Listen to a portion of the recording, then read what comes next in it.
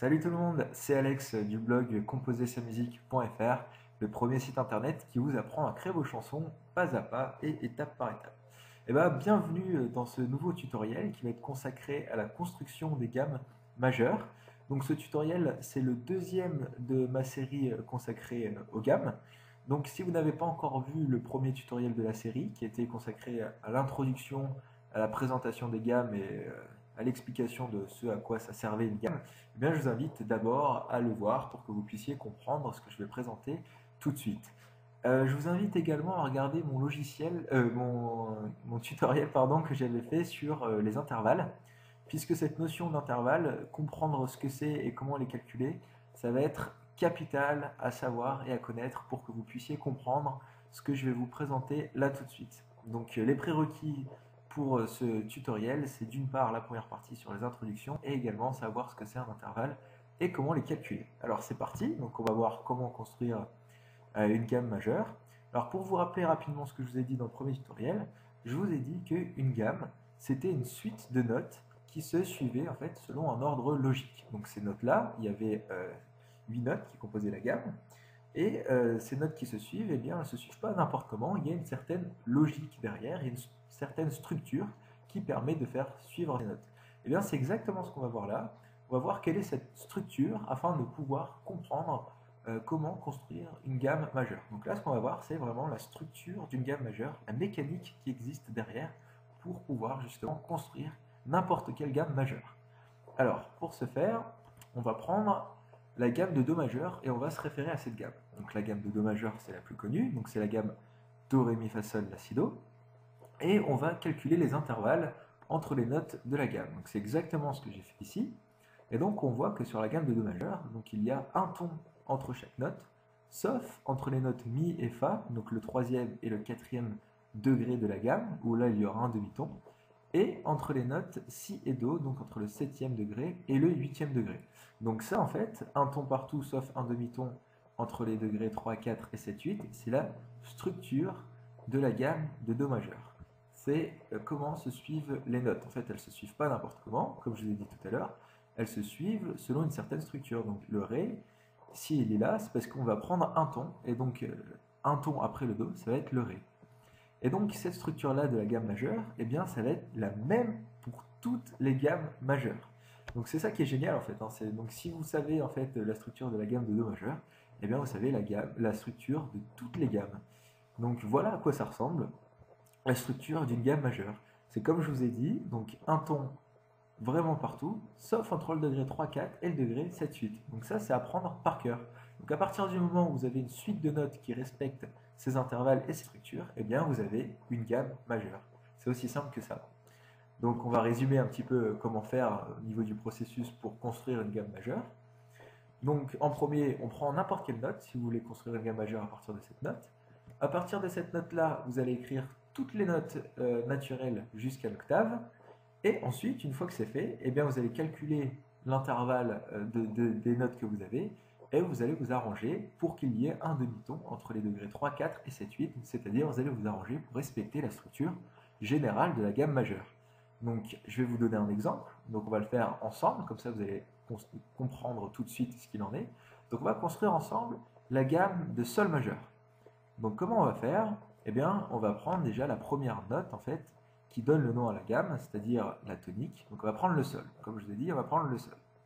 On va prendre une note au hasard, donc cette note-là, c'est le sol pour construire la gamme de sol majeur. Ensuite, on va construire donc la gamme, comme je vous ai dit tout à l'heure, de cette note jusqu'à l'octave sans mettre d'altération. Donc on va juste prendre en fait Sol, La, Si, Do, Ré, Mi, Fa, Sol. Donc on va prendre les 8 notes qui se suivent hein, et on va les écrire. Ensuite, ce qu'on va faire, c'est qu'on va calculer la distance entre ces notes. Bim Donc c'est ce que j'ai fait, c'est magique, ça va plus vite grâce, euh, grâce à cette animation. Donc euh, on voit, en calculant l'intervalle de ces notes, donc de sol à sol, qu'il y a un ton entre le degré 1 et 2, un ton entre le degré 2 et 3, un demi-ton entre le degré 3 et 4, euh, un ton entre le degré 4 et 5, entre le degré 5 et 6, entre le degré 7 et 8, et un demi-ton entre le degré 6 et 7. Donc euh, voilà notre gamme à l'état actuel des choses. Et nous, en fait, ce qu'on aimerait bien avoir, eh bien, donc c'est la structure de la gamme majeure. Donc pour ça, qu'est-ce qu'on va faire? Eh bien on va regarder en fait degré par degré, voir si euh, la structure de notre gamme que l'on a actuellement, ça correspond à la structure de la gamme majeure. Donc ici, entre le degré 1 et le degré 2, donc sur notre gamme majeure, on voit qu'il faudrait un ton. Ici, on a calculé, on voit qu'on a un ton, donc c'est très bien. Entre le degré 2 et 3, il faudrait un ton. Là, c'est également le cas, donc c'est parfait. On passe à la suite. Un demi-ton entre le degré 3 et 4, parfait. Un ton entre le degré 4 et 5, c'est également le cas. Un ton entre le degré 5 et 6, là on est bien. Et il faudrait un ton entre le degré 6 et 7 et un demi-ton entre le degré 7 et 8. Là, on regarde, ah, ben non.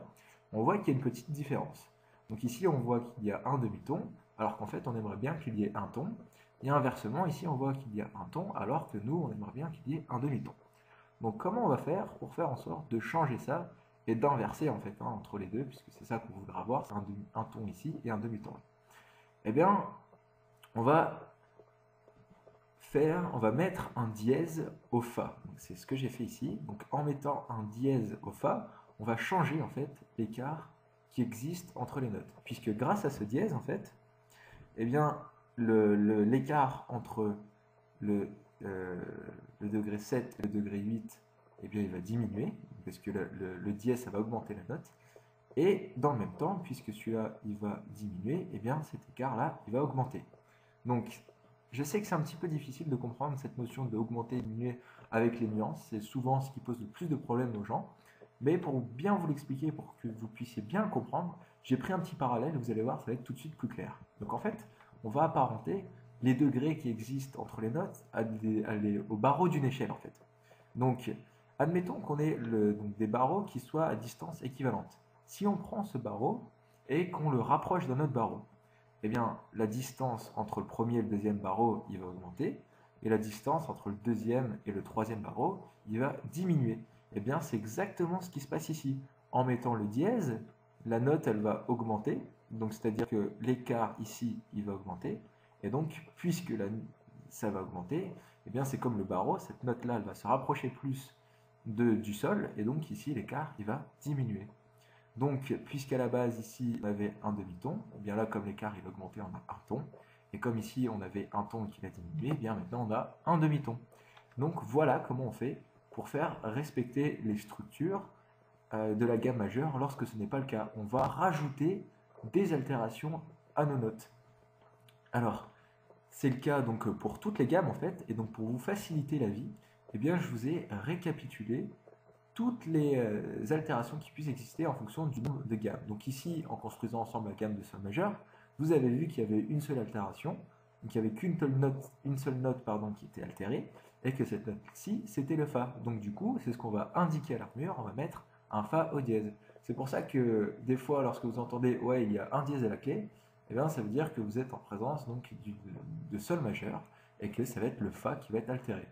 Et donc, en fonction des gammes, en fonction du fait de, faire respecter cette structure, il y aura plus ou moins euh, de dièses, et donc c'est ce que je vous ai récapitulé ici. Par exemple, euh, si vous construisez la gamme de Mi majeur, vous allez écrire Mi Fa Sol La Si Do Ré Mi Fa.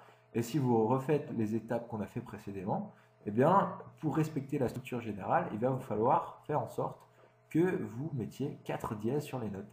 Et ces dièses, ce sera sur les notes Fa, Do, Sol et Ré. Donc je vous ai tout récapitulé ici. Mais au moins, maintenant, vous comprenez la structure et vous savez comment le faire sans forcément apprendre par cœur ce tableau.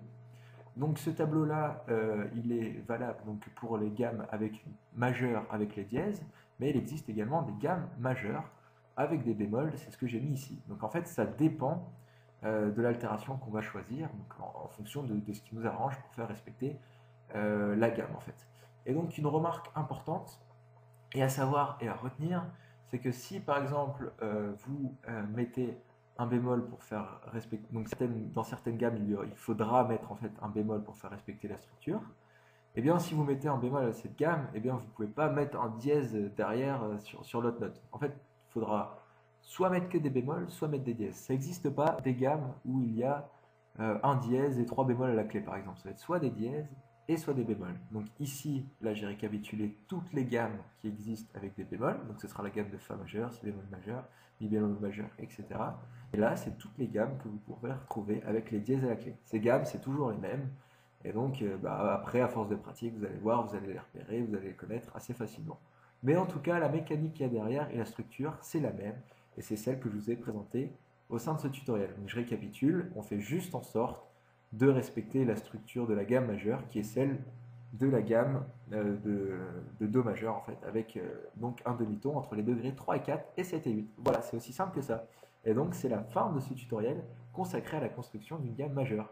Dans le dernier tutoriel consacré aux gammes en général, on va apprendre à construire des gammes mineures et à euh, connaître la notion de gamme relative. Donc si vous avez aimé ce tutoriel, eh bien, je vous invite à vous abonner à ma chaîne ça me ferait plaisir. Et puis, donc, vous verrez que j'ai fait énormément de tutoriels sur le solfège et sur la composition. Euh, je peux également vous inviter à rejoindre la page Facebook de Composer sa musique. Donc, vous retrouverez le lien en bas de la vidéo. Et également à vous rendre sur le site, puisque j'ai écrit en fait un article dédié à ce tutoriel où vous pouvez retrouver tous les schémas que j'ai présentés au sein de cette vidéo. Donc, merci pour votre attention et à très bientôt pour de nouveaux tutos. Ciao